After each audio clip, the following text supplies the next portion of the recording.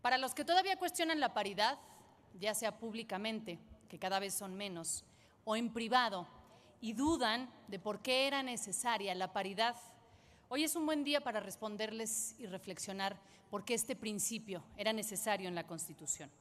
Pensemos que hace apenas 71 años las mujeres en México no podían votar ni ser votadas, pero se logró gracias a la lucha de mujeres como Hermila Galindo, quien propuso este derecho para las mujeres. Su petición fue rechazada en ese momento por los hombres que mandaban en nuestro país después de la revolución, pese a que ella y otras mujeres habían participado en esta lucha revolucionaria. Hay textos que señalan que la petición fue objeto de burlas y rechazada simplemente porque pensaban que las mujeres no teníamos la capacidad ni merecíamos este derecho. Hermila Galindo y Elvia Carrillo Puerto fueron mujeres que desafiaron las reglas, que levantaron la voz, que impulsaron los derechos de las mujeres, como hicieron las sufragistas en todo el mundo.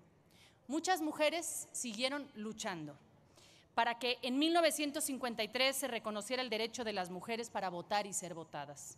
En mi tierra, en Aguascalientes, en 1957 tuvimos a nuestra primera alcaldesa, Carmelita Martín del Campo. Pero desde el reconocimiento de este derecho hasta la llegada de la primera mujer gobernadora, pasaron 26 años. En Colima, con Griselda Álvarez en 1979. Compañeras y compañeros, la desigualdad de género se ve así.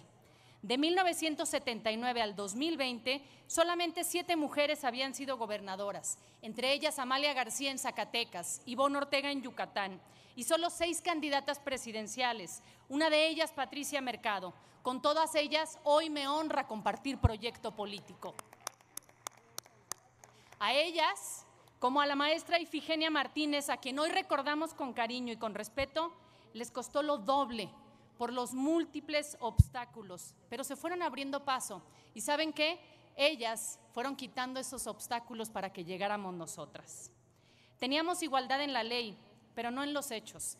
Por eso fueron necesarias las acciones afirmativas como medidas de equidad para lograr un piso más parejo entre hombres y mujeres y buscar lo que hoy todavía no tenemos, la igualdad sustantiva.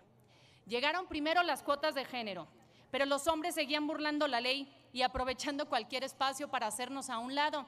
Ahí están las Juanitas, por eso se tuvieron que poner candados en la ley. Luego llegaron los bloques de competitividad para que no nos mandaran en los partidos políticos a las candidaturas perdedoras y varias reglas para hacer el piso más parejo. Por eso las reglas sí importan, como señala un estudio de Flavia Freidenberg sobre la representación política de las mujeres. Las mujeres que hoy llegamos a las cámaras, a los gobiernos estatales y a la presidencia de México, tenemos un compromiso con todas las demás para crear un país con menos desigualdad, en el que niñas y mujeres vivamos seguras, que no nos maten por el hecho de ser mujeres, donde las mujeres puedan acceder a un trabajo remunerado en igualdad de condiciones. Un país donde no seamos encarceladas por decidir sobre nuestro propio cuerpo.